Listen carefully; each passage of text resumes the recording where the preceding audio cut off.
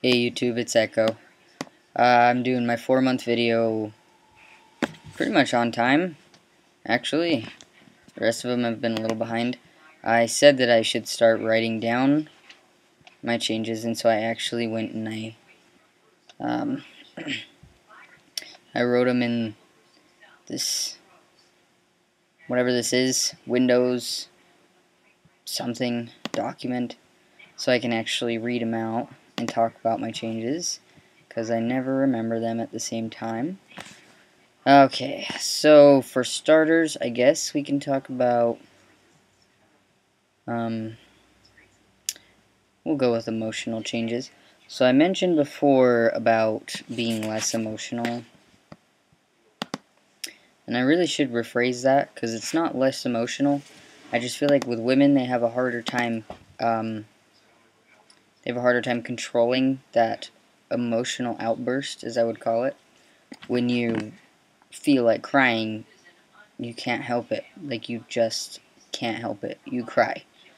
Or, you know, if you're angry, you just can't let it go. Like, you're just pissed. Um, so I don't think as a male or on T you're less emotional. I just think you have more control over that emotional outburst response. So, I don't know. You don't when you feel like crying, I mean, you still feel sad. You still have you still have that emotion. You just can control whether or not you want to cry, I guess. I suppose that makes sense. Um, I feel like my patience levels emotionally have done a 180. What I used to be really patient with just annoys me now. Like when people feel sorry for themselves, I'm just like, Come on, man. I used to take a really nurturing response to it, and now I'm like, do what it takes to make your life better. Stop sitting here and burying your head in the sand and crying about it, because it's not going to fix anything for you.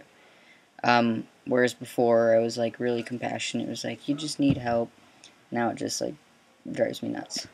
Because I understand people need help every once in a while, but sometimes it's just like, there's a point where you got to do what you got to do to make it better. Um, but then things that used to irritate me when I was before I was on T, like children, for instance. Um, I grew up in a family with eight kids. My mom has five, my dad has three, so aside from me. So just never. I was just like, ah. Oh. But now I have like a world of patience for children, and they're so much fun, and they actually bring a lot of joy to my life, and just they're funny little personalities and creative minds just make me happy, you know. So I feel like being on T has helped me kind of balance what's important in my life. I can't say the same for everybody else because I don't know. um, I mean, I guess we could talk about physical changes now. My facial hair, see this shadowing? That's not a shadow. That's actually my facial hair. You guys can finally start to see it. Yes. Um, I'm getting more hair everywhere. Like where there was peach fuzz, it's now darkening. And on my face, it's not just growing like on my face, but it's growing my sideburns, uh, my chin, my goatee area, and now my neck. It's actually coming down here. And as you can see, getting acne everywhere from it. It's, I guess that's the price you pay, but I I'm excited for it. So you know, um, my skin texture is changing. It's a lot more rough. So anytime I feel Ari's skin, I'm like, oh my god, your skin's so soft. But it's because mine's more, I guess the texture of it's rougher.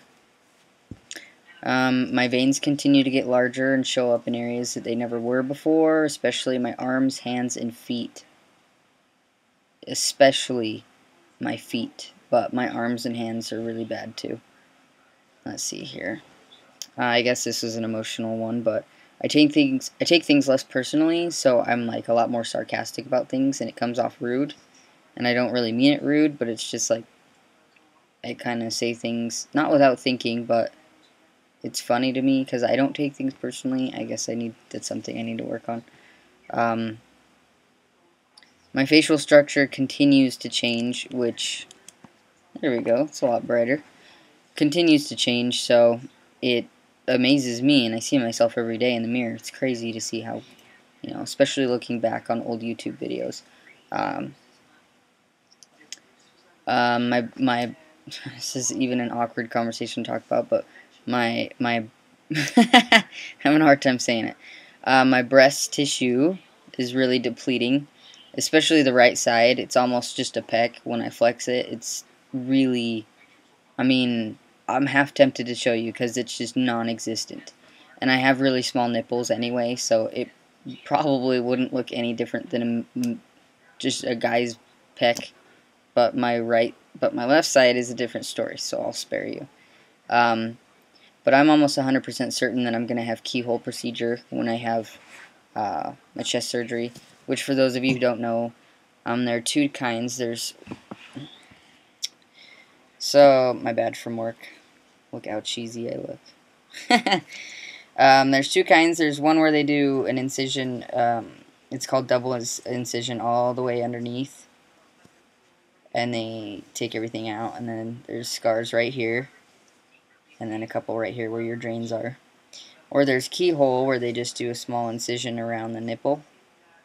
And then they take, they put a thing in there and suck it all out. So keyholes um, they usually do it for FTMs with smaller breasts, which mine are not even A's. I don't even know what they would be considered. And um, it's harder if you have bigger nipples, but there's less scarring. Um, I know, I've heard that, um, you know, there's benefits and, and basically pros and cons to either one, but I think I'm going to go with uh, keyhole procedure. Um, let's see. I've gained over 25 pounds, and it's not fat. It's just random muscle. I have muscles in areas I've never had muscles before, which is awesome, but at the same time, it's kind of a pain in the ass, because I used to be really agile and, like, quick, and now I realize I slam into things a lot. I'm a lot more clumsy, and I also get cramps in my muscles now that they're getting larger. Um, there's been thickening in my feet a lot I actually had to go up a shoe size because my feet have grown. I'm in now, now I'm in a men's 8, just a regular shoe, and a men's 9 in a business shoe. So, let's see. Um, the topic that everybody is always curious about, growth in the nether region. Yes. Absolutely. I actually started seeing growth down there probably within the first couple of weeks on testosterone.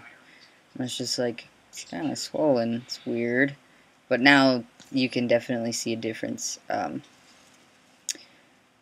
and you would think that the larger it gets, the less stimulation you would need sexually down there. But I've noticed it actually takes more because there's more area to cover, I guess. I don't know if this applies to everybody, but...